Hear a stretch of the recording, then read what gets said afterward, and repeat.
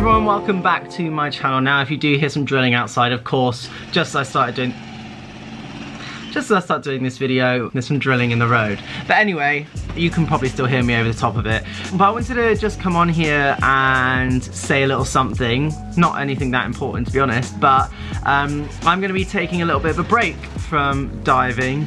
I say a little bit of a break, it's literally a total of two weeks, just to refresh, reset, uh, going into the Olympic year. I know we've only been back in the pool for like a month, but we were training all the way through lockdown and we still want to have a little bit of a reset and a break so that we're not training for, you know, two years straight. So having two weeks off for a little bit of a summer staycation, if you like, and we start back training on the 1st September for the new Olympic cycle. We're gonna, you know, take two.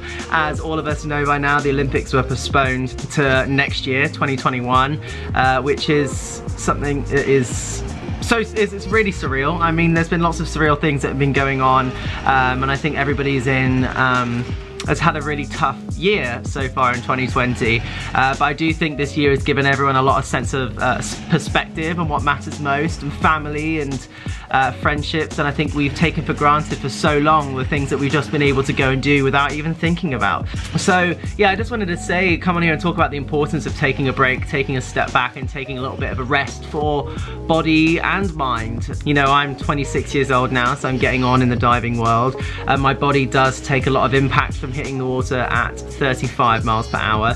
So these couple of weeks are all about like recovering, spending time with Lance and spending time with Robbie and just being able to reset, take my mind off of diving completely and just go, be able to like freshen up so that I'm excited about getting back to training and exciting about getting going because it's going to be a busy year next year, if it's even going to be possible because at this point, we still don't know exactly how this year is going to plan out, but I want to go into it with the best frame of mind possible. So this next couple of weeks, there's going to be lots of stretching, lots of yoga, lots of uh, mindfulness, and just being able to unwind and relax a little bit, or as much as you can with a two-year-old. But I'm also going to be taking a little bit of a social media break. I'm probably not going to post on YouTube in the time that I'm off, although this video will come out right in the middle of me being off, but Anyway, you won't get a video next week um, and then you'll be back again in September. So I just want to come on and say thank you everyone for your support on my YouTube channel. It is very much appreciated and hopefully we'll be back up and running with lots of exciting diving vlogs and travel when this is all over and done with